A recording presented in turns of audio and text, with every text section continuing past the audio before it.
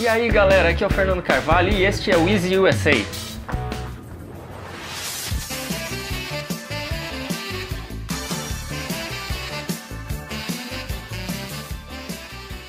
Nesse vídeo de hoje, eh, eu vou falar um pouquinho, conversar um pouquinho com vocês a respeito de como melhorar o teu inglês. Talvez aprender inglês do zero, talvez, dá para fazer em casa.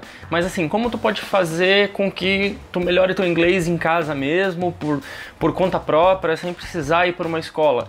Não que ir para uma escola seja um negócio desnecessário. Eu acho super legal tu ir numa escola de inglês, aprender inglês mesmo, aprender a gramática a fundo, num roteiro é, certo e tudo mais. Mas o foco desse vídeo mesmo é como eu faço, tá? Como eu tento melhorar o meu inglês, como eu pratico o meu inglês é, além de, claro, conversar com americanos. Porque só conversar, tu até aprende alguma coisa, mas assim, tu mais pratica do que aprende. Porque tu não vai parar no meio de uma conversa assim, que palavra é aquela? Até pode, depende da pessoa, né? Mas que palavra é aquela? O que, que tu estava querendo dizer com isso? Tudo mais. Não, não é bem assim, né? Então tu vai praticar conversando com americanos, mas o que não falta aqui no YouTube são pessoas querendo te ensinar inglês de várias formas. Tem gente que ensina gramática, tem gente que ensina é, erros que brasileiros fazem.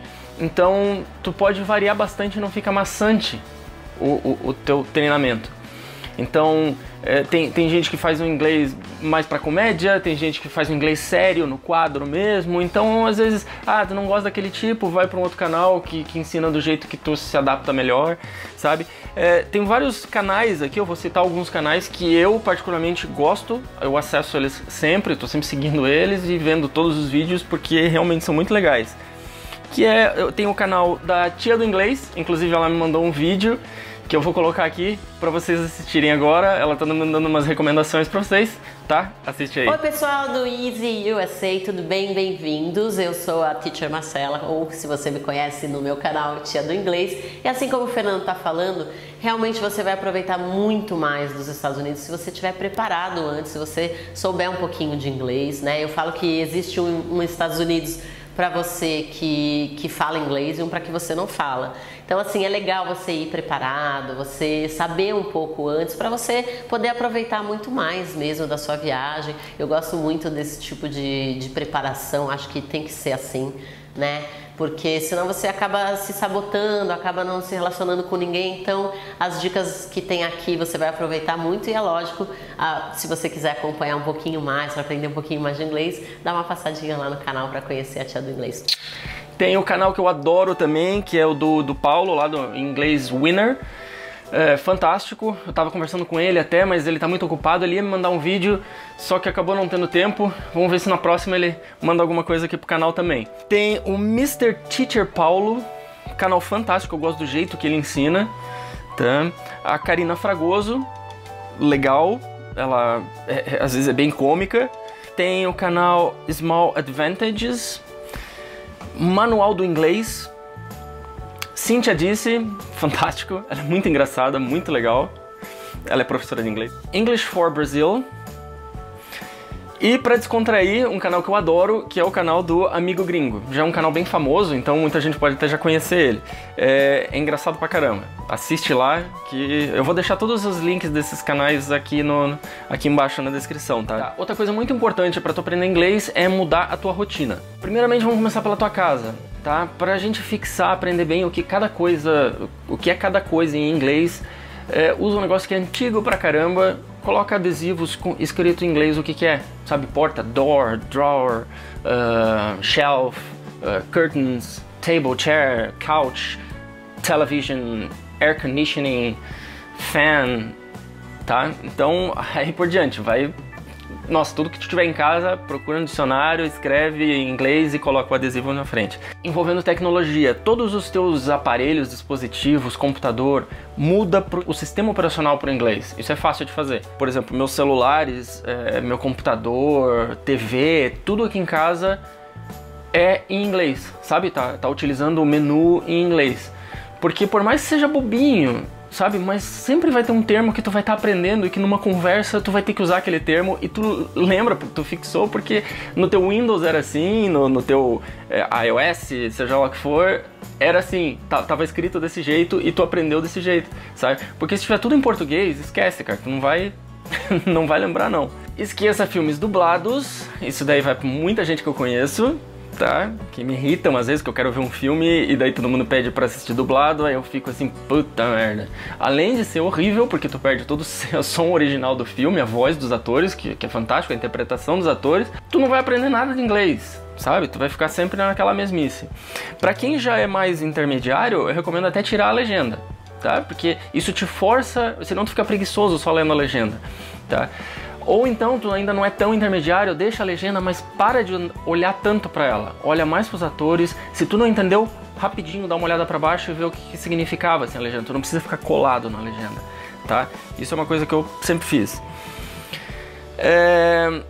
Leitura, lê sempre os textos em voz alta. Se tu tá lendo um livro, lendo uma revista, lê em voz alta. Não lê só na cabeça, tá? Porque isso ajuda a uma coisa que eu vou falar agora, que é praticar a, a musculatura da boca para falar inglês. Tá? Porque é assim, ó, cada língua ela tem uma forma diferente de usar a boca, sabe? De usar a língua. A língua tem um jeito de usar a língua. É. Tá? tem uma forma diferente. Então, se a tua boca não está acostumada a, a executar aqueles sons com aqueles músculos, aquele grupo de músculos, tu não vai conseguir falar, sabe? Ou tu vai falar com uma pronúncia muito ruim o que mais vem na cabeça são aqueles mexicanos que tu vê falando em filme, né? É, eles falam muito estranho. Aí tu vai falar sempre errado e tu não vai conseguir ter uma pronúncia legal nunca, tá? Então assim, sempre tenta falar inglês sozinho, tá lendo o negócio. Eu, por exemplo, um negócio que, que, eu, que eu uso muito é, são programas para aprender inglês. Por exemplo, tem o Duolingo, que é fantástico, é como se fosse uma escola de inglês, tem tudo um processo ali de, de aulas, de, de níveis, é, super legal. Então aquilo ali também faz o. estuda daquele jeito ali, mas com, sempre falando, sempre repetindo o que está vendo na tela. Tem um outro, um, que é um podcast, toda vez que eu vou viajar no carro, ou às vezes quando eu estou andando na rua mesmo, com fone de ouvido, eu coloco ele que é o English ESL, é o English as a Second Language, tá? É um podcast que ele tem dois formatos. Um, ele pega um texto, ele passa o texto em eh, primeiro devagar, eles conversam, duas pessoas sempre conversando, um diálogo devagar. Aí depois o o Jeff McQuillan, que é o cara que, que faz esse podcast, ele analisa tudo que eles falaram. Isso é tudo em inglês, tá? Não tem nada em português. Ele analisa tudo que eles falaram só que de uma forma muito legal, assim, para aumentar bastante o teu vocabulário. E depois ele passa o texto em voz rápida, normal. Eu aprendo muito com isso. E daí o que, que eu faço? Eu ouço eles e eu cheguei a um nível que eu tô sempre. Eu repito tudo, sabe? Desde o início, desde quando ele fala oi até o final, eu repito em voz alta junto com ele. Então eu pareço assim um, um papagaio ouvindo o podcast, sabe? E isso é incrível para a tua língua se acostumar com o inglês. Tá? Recomendo isso demais, assim, ó. English as a Second Language, ESL Podcast, tá? Procura lá. Todos os programas de podcast nos celulares, eles acham isso, se tu digitar ESL, ESL, que encontra lá, facinho, facinho. Tá, assim, muitas dessas dicas, assim, que eu tô dando, muitos outros vídeos já deram, outros é, canais já deram, só que eu, eu, acho que sempre tudo é válido, sabe? Quantas vezes eu vi um vídeo explicando a mesma coisa, só que alguém diferente? É, é sempre fantástico, sempre aprende alguma coisa a mais, tá? Por exemplo, tem aquelas pessoas que falam dos, dos erros de inglês, né? Que brasileiro é, fala as palavras tudo com i no final, né? Internet, é, Facebook, tudo tem i no final, é engraçado. Ou então as falhas do, do, do brasileiro que não coloca o it em, em algumas frases, né? Por exemplo, I love it, I want it, it's raining, sabe? É o it, ninguém usa. Ou então o pior, assim, que é o TH, né? O th, né? Que tá, por exemplo, palavras assim, ó, tem o with, o the, teeth, o thief, o those, their, think, o thought, ou o think. Tem gente que fala think, or thank you, sabe? Tudo tem a ver com a, com a língua, então tu tem que prestar atenção no que tu tá falando, tenta se ouvir e tem um monte de vídeo explicando como usar a língua também. Então, presta atenção nisso, porque quando tu lá nos Estados Unidos, se tu fala muito errado assim, as pessoas têm dificuldade de te entender, sabe? Eles não têm Uh, eles têm paciência para falar com gente de fora em muitos lugares, mas quanto menos errado tu falar, menos tu vai ter aquele hã? Ou alguém te entendendo errado, ou então nem te respondendo porque não entendeu. Assim como a gente, os americanos também têm muita dificuldade para falar português, porque o português tem muitos sons que não existem no inglês.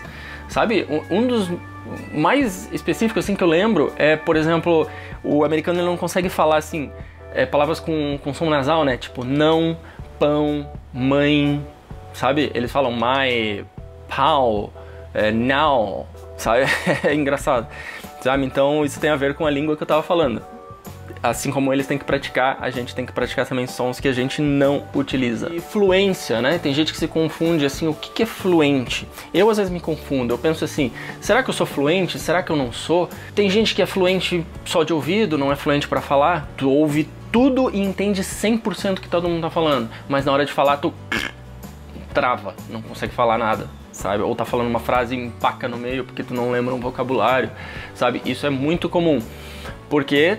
Porque tu também não pratica a fala. Tá? Ficar repetindo, ficar lendo em voz alta, aquilo que a gente comentou antes. Então eu acho assim que quando tu tá começando, pelo menos vamos estimular as pessoas para saber se estão começando a ficar fluente ou não. A partir de um ponto que você conversa com alguém e você não pensou o que falar em inglês, tu simplesmente saiu, eu acho que isso é a fluência. Tá? Assim, o significado de fluência, né? Fluência significa não ter dificuldades para executar. Então, assim, se eu não tenho dificuldade para falar com alguém, simplesmente sai. É porque o teu cérebro já mexe, ou já vira o switch ali pro inglês e tu tá falando inglês e aquilo ali, para mim, é fluência tá? Tu pode ter dificuldade às vezes em algum assunto. Por exemplo, tu tá falando super bem com alguém sobre carro, não sei o que, aí alguém pega e chega e começa a falar contigo sobre é, um assunto financeiro. Aí tu, ups, eu não, não conheço os termos, não sei como é que se explica alguma coisa. Eu acho que isso não deixa de dizer que você é fluente, simplesmente você não conhece aquela área, sabe? Mesmo em português, às vezes tu não conhece alguma coisa, alguém te explica, tu não sabe o que, que ele tá falando, tá? Outra coisa interessante na música. Garanto que isso já aconteceu com muita gente, tá? Vocês estão ouvindo uma música e tu acha que tu é fluente, só que tu não entende o refrão, ou tu não entende o que eles estão cantando. Aí eu peguei e cheguei para uns americanos e falei assim, peguei a música, falei assim, me diz o que, que eles estão falando aqui. Dei play na música. Pra minha alegria, tá? eles não sabiam o que o cantor estava falando. Aí eu lembrei que às vezes tem músicas no Brasil mesmo que em português a gente também não entende o que, que o cantor cantou. a gente não entende porque cantou de uma forma diferente, cantou sei lá, pronunciou as palavras diferentes, mesmo em português, mesmo a gente sendo nativo, a gente não entendeu. Então, com o inglês acontece a mesma coisa e eu descobri que no inglês parece que é meio mais é pior ainda. Sabe? Tem muitas músicas que nenhum americano entende o que eles estão falando, só se eles olharem na letra tá? E isso me deixou muito feliz, porque muita gente usa música para aprender inglês e eu chegava às vezes em algumas músicas e falava assim, caramba, eu não consigo entender o que eles estão falando, cara. Será que o meu inglês tá tão ruim assim, sabe? Então, é isso aí. Fred, vem cá, vem cá, vem cá. Fred, pega a bola, a bola.